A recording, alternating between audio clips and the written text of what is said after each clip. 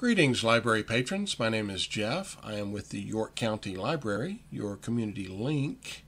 And today we're going to take a quick introductory look at our website and how to navigate it and some resources and links on our website that you're more likely to find helpful while our physical locations are closed. First thing you want to do is open a web browser. It can be any web browser you choose. I prefer Chrome. We'll type in our website address, yclibrary.org. Hit the enter key. That opens our website. I want to encourage you to take a deep dive into our website. The top is a ribbon menu. Under each menu item, a submenu item uh, submenu opens with tons of stuff on it, and each of these contains even more. So you'll want to go through and click on these there's so much here, it would take days to go through all of them. So take the opportunity to familiarize yourself with our website. There's so much here for to help you. Um, it's a great, great resource. Uh, we want to focus on some, some, a few of the uh, items that you're more likely to use in the coming days. One of those is the Contact Us link in the top right hand corner. If you click on that, it brings up a form and you will just fill out this form with your name, your email, your library card number if you have that information. Now, you don't even need a library card or account to use this form to ask us a question. But if your question or concern is about your account and you have access to your card number, then supplying that information just makes it easier for us to find it so we can get back to you quicker. And that's what we want to do.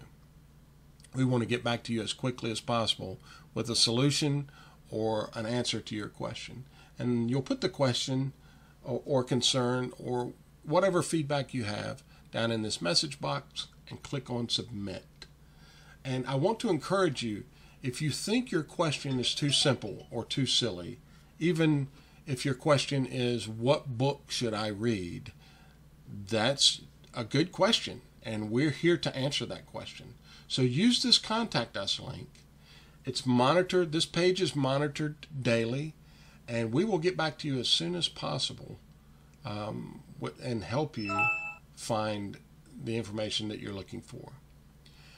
The other items that we're going to be using more often uh, one is the virtual library page under the browse menu. If you hover over the browse menu and click on virtual library, it brings up our virtual library page. On this page are all the resources uh, and services that provide ebooks, e audiobooks, um, digital streaming music, TV, movies, documentaries, comics. All of those things are available through these services. Each of these has their own help menu, frequently asked questions. Some of them even have video tutorials uh, or tutorials on different devices.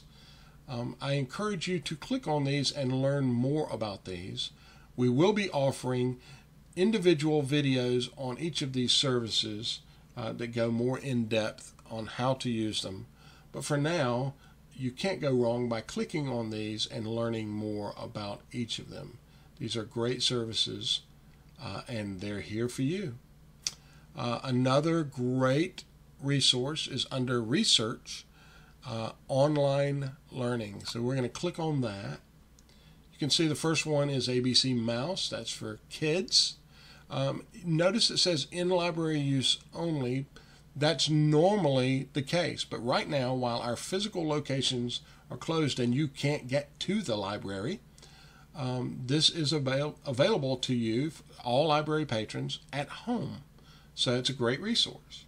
Um, Creativebug also, fantastic resource. It's for people who love crafting. Um, it's a great resource. We want to focus on these two, Digital Learn and gcflearnfree.org.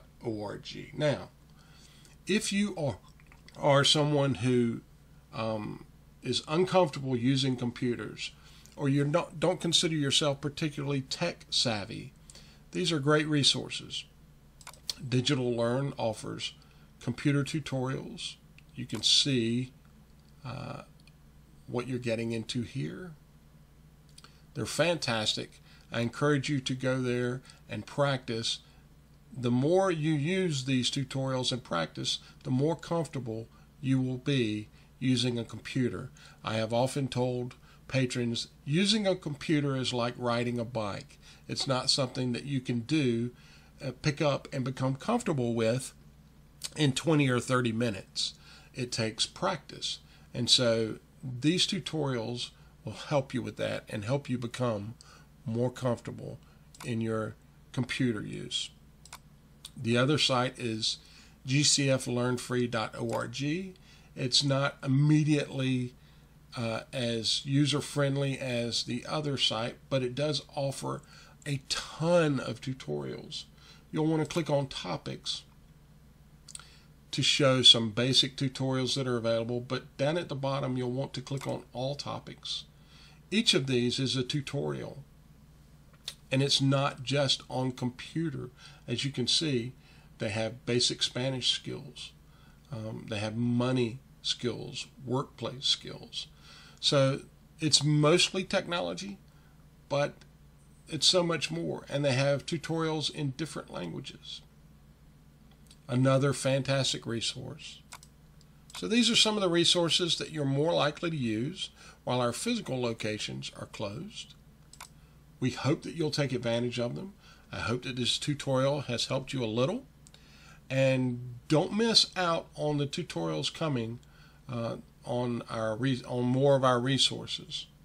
Uh, stay safe, and um, we will see you soon.